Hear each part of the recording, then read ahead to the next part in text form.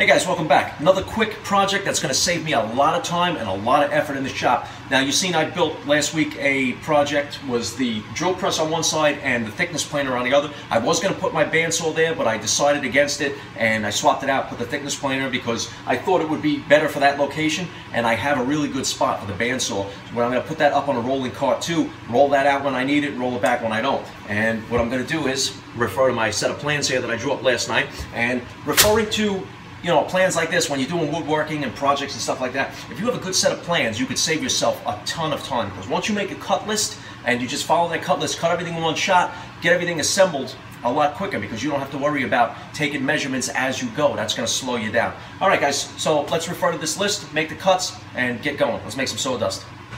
Now you guys are going to see as the shop's coming together and I keep building my, uh, you know, rolling carts and projects for my power tools and stuff like that. You can see I was able to move my lumber rack from the basement into the garage.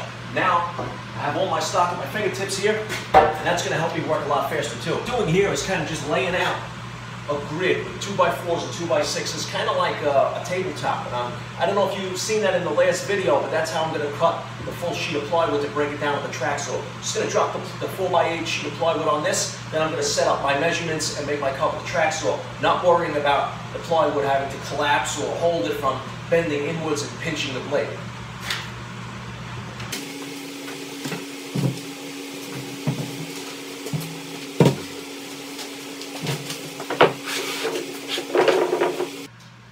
I'm here, I'm just laying out my measurements. I'm going to cut the, uh, the two sides, 21 inches, and everybody's measurements are going to be different for this depending on the size that you need for your bandsaw, because everybody has a different size bandsaw, and also the area where you plan to fit this cart.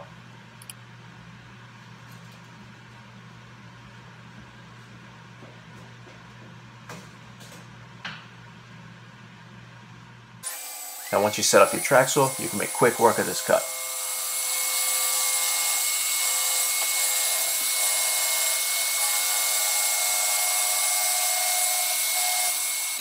Now rather than set up my miter saw and do the crosscut here, I'm just going to lay out the track saw and make quick work of the crosscuts with it.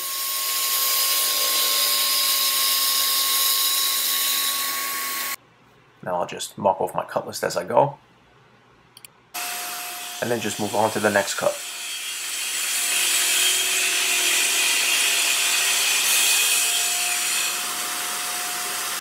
Now here I'm going to mark out 22 inches. That's going to give me the width of the cart for the top and the bottom, and I'm just going to mark it out with a T-square.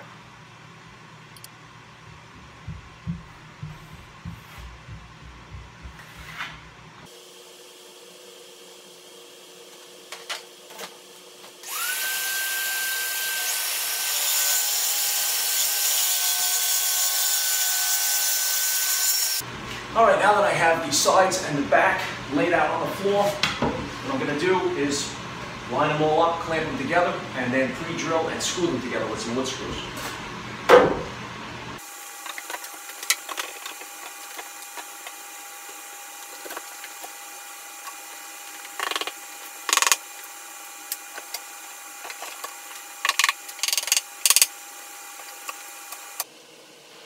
Now to assemble it, I'm just using a drill bit with a countersink. This way I can save some time, not have to change the drill bits out, and then I'm to screw it together with some all-purpose construction screws.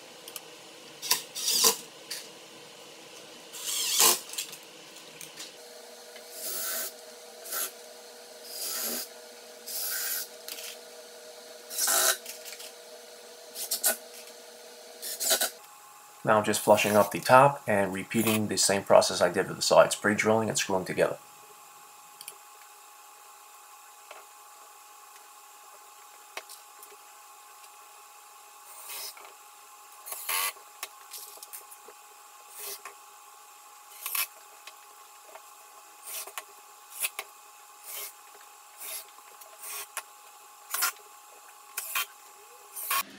Now I'll flip it over and attach the bottom.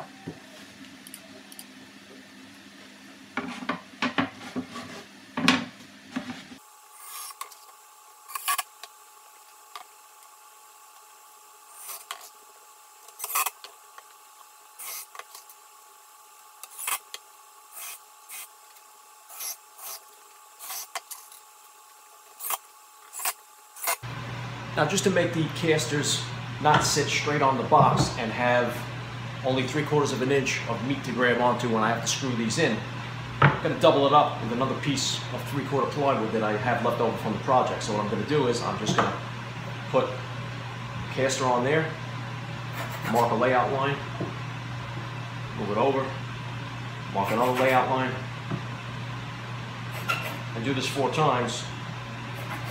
And then I'm gonna continue this line here and I'm just gonna go make four cross cuts real quick and then each one of these will be sitting on each corner of the box and that'll help me secure all my casters.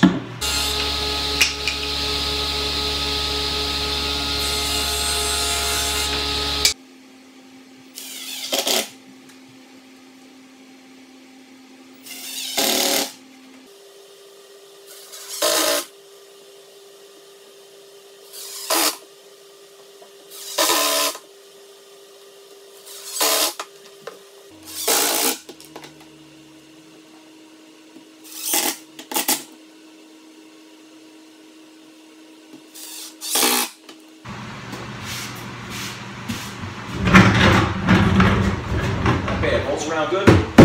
Nice top here for the bandsaw. Eventually I might put a shelf in there, but right now I'm gonna throw my compressor down there, get it out of the way. Let's put the bandsaw up.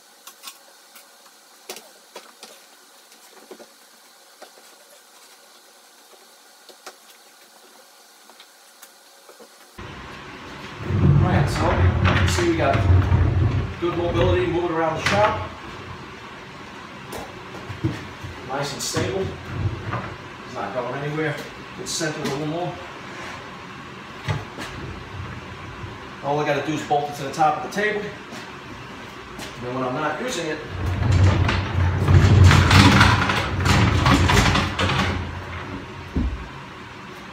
it's gonna sit right in there.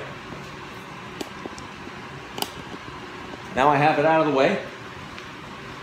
So when I need it, roll it out, use it. Got a place for more tools. Well guys, that's it. Another project's done. Got a lot of good mobility here. I threw my compressor on the bottom, my grinder, my multi-tool. I, I got a lot of space here now, so I'm gonna roll this into the corner, get it out of the way until I need it, and I hope to see you guys next time.